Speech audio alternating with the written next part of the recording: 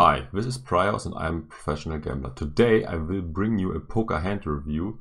This hand was played between Wiktor Malinowski and the Canadian Christopher Brrr. Not sure how his real last name is. Please leave me a comment if you know.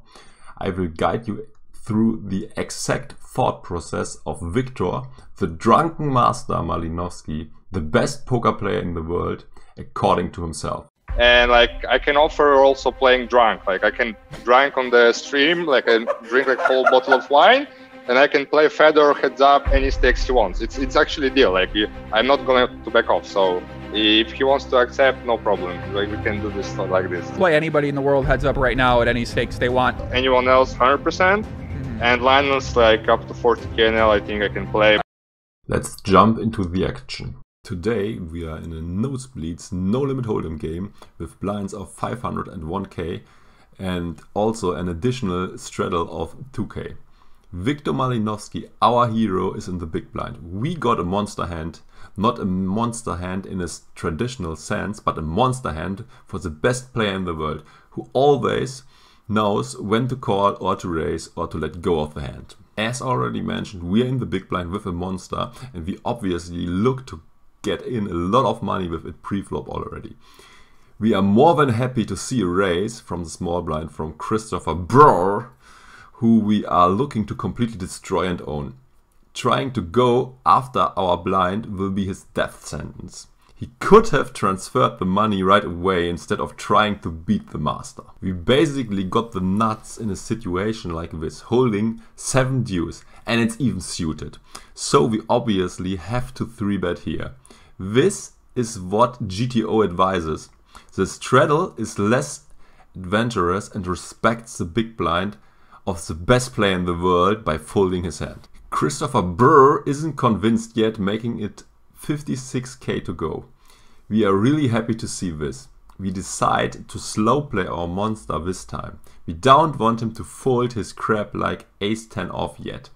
We are looking to get his entire stack, so we just call. The flop is not exactly what we hoped for. It's a bit mediocre, but with a strong draw to a backdoor straight draw, to be more specific, to a backdoor gut shot, we can't, can't fold yet.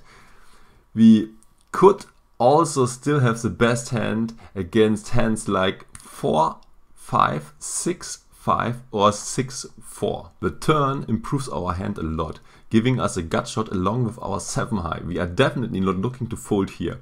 With these monster draws we don't mind to get some money in.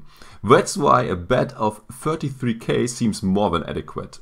Christopher Brrr still doesn't respect our game and our status as the best player in the world, which nobody can beat and continues to bleed money away by calling once again. On the river our monster draw finally came in and we got to shove for value. Poor guy messing with the almighty Malinowski, but this will probably a lesson to him to not get into the way of Wiktor, the drunken master, ever again.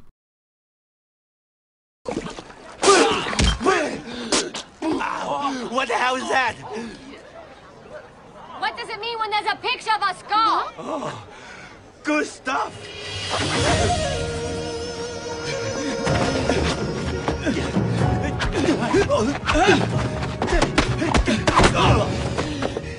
The last one really hit the spot. This was my video giving you insight into the thought process of high stakes and nosebleed regulars. I hope you will reward me with a like for sharing the secrets and strategies on how to beat the nosebleeds. If you don't want to miss any of my future videos, feel free to also subscribe to my channel. If you got friends who also want to beat the nosebleeds, feel free to share this video with them. Thanks for watching. Bye.